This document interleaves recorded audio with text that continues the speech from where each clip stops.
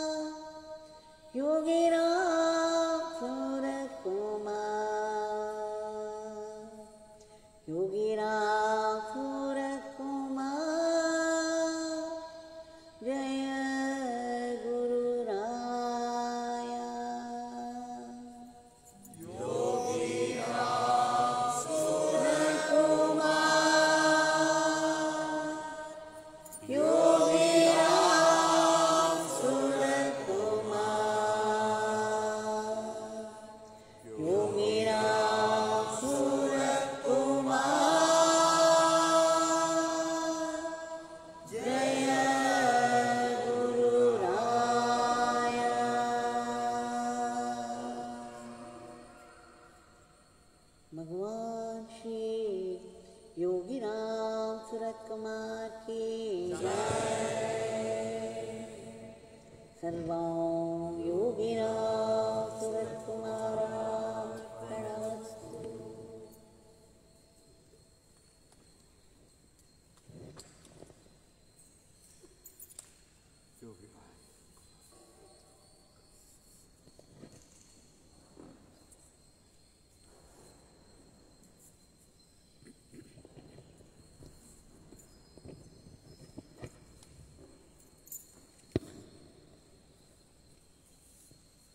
நாம் மறுபடியும் பகவானுடைய பேரருளை கொண்டாடி அவர் நமக்கு இந்த பெரும் வாய்ப்பை அளித்ததற்கு மகிழ்ச்சியோடு நன்றியோடு அவருடைய பாதங்களில் நாம தாமரைகளை சமர்ப்பித்து விட்டோம்.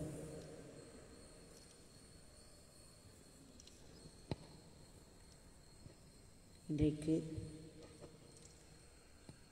நம்முடைய வழக்கமான பிரார்த்தனையை சமர்ப்பிக்கும் முன்பு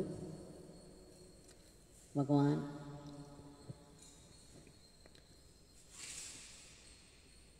ஒன்றிரண்டு உபதேசங்களை நினைவு கூறுவோம்.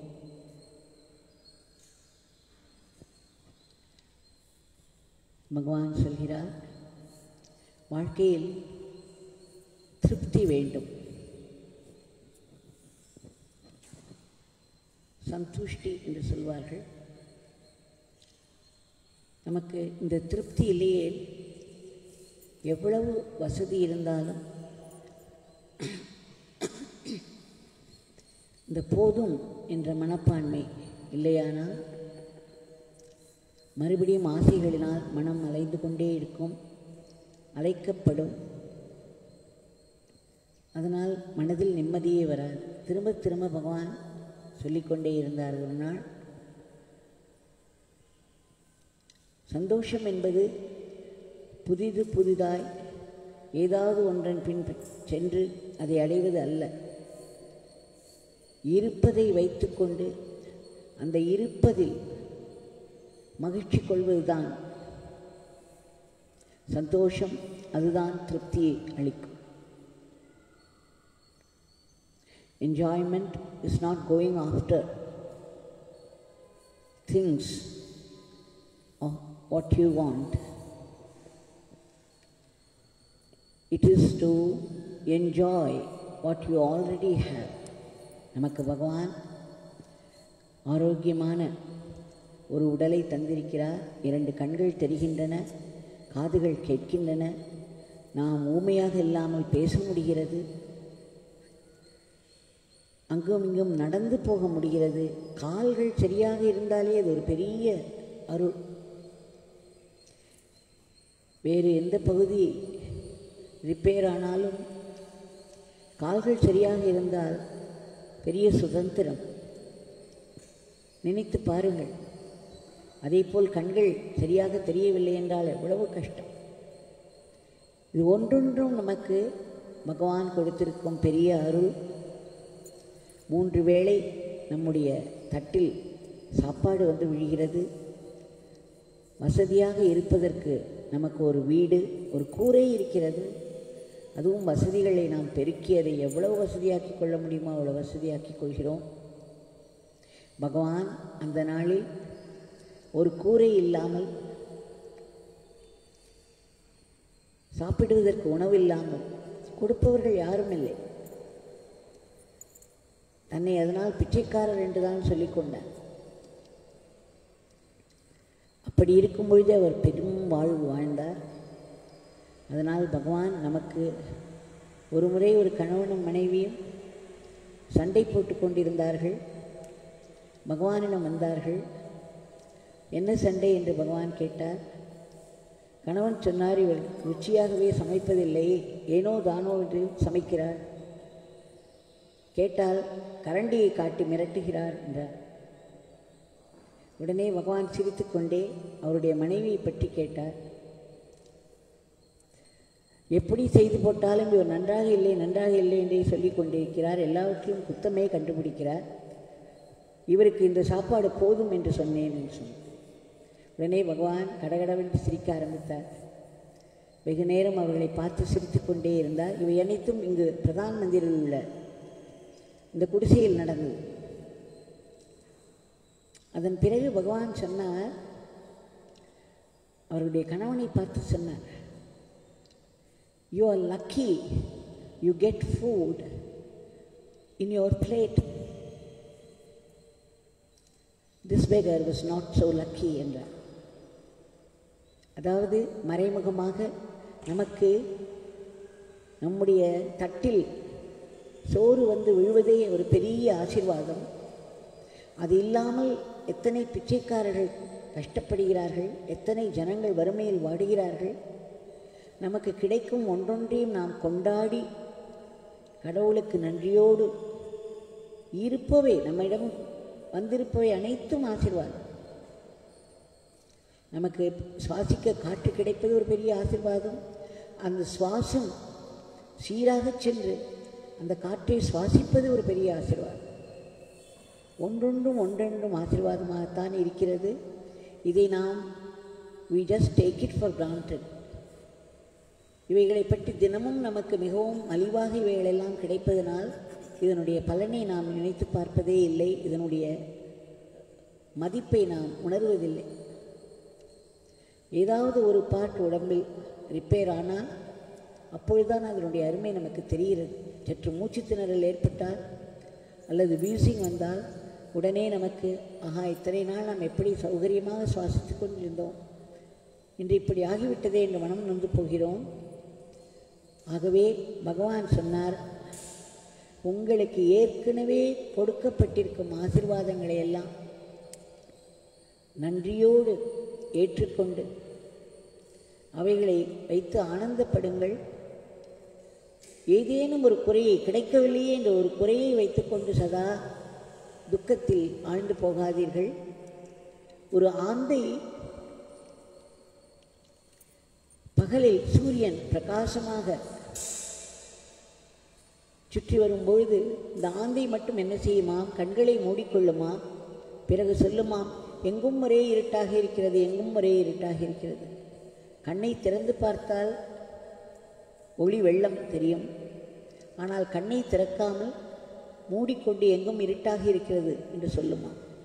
இப்படித்தான் பகவான் சொல்வார் சதா துக்கப்பட்டு கொண்டு ஏதேனும் ஒன்றை நினைத்து குறைபட்டு கொண்டே இருப்பவர்கள் ஏதேனும் ஒன்று நினைத்து துக்கப்பட்டு கொண்டே இருப்பவர்களை பற்றி சொல்வார் இவர்களெல்லாம் ஆந்தைகள் போல். சதா இருப்பதை வைத்துக்கொண்டு அவை பெரும் ஆசிர்வாதம் இவை எத்தனையோ பேருக்கு கிடைக்கவே இல்லை அவர்களெல்லாம். பல விதங்களில் துன்பப்பட்டு கொண்டிருக்கிறார்கள். நமக்கு இத்தனையும் கிடைத்திருக்கிறது. நமக்கு ஆரோக்கியம் கிடைத்திருக்கிறது என்று நாம் மகிழ்ந்து கொண்டாடி பகவானிடம் நன்றியோடு இருக்க வேண்டும்.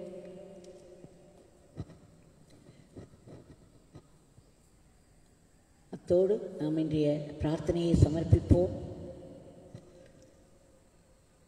பகவான் இன்றைக்கு இந்த உலகம் இருக்கும் நிலை நமக்கு தெளிவாக சொல்லிவிட்டது பணம் ஒரு பலமல்ல படை ஒரு பலம் அல்ல இன்றைக்கு நேற்றைக்கு ஒரு கடிதம் வந்திருந்தது அமெரிக்காவிலிருந்து.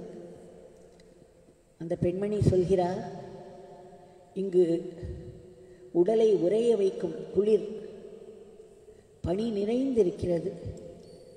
உஷ்ணத்திற்கே வழி இல்லாமல் இருக்கிறது. இந்த நிலையில் கொரோனாவினால் பலவிதமான அவஸ்தைகளுக்கு ஆளாகி எல்லோரும் தவித்து கொண்டிருக்கிறோம் இங்கே.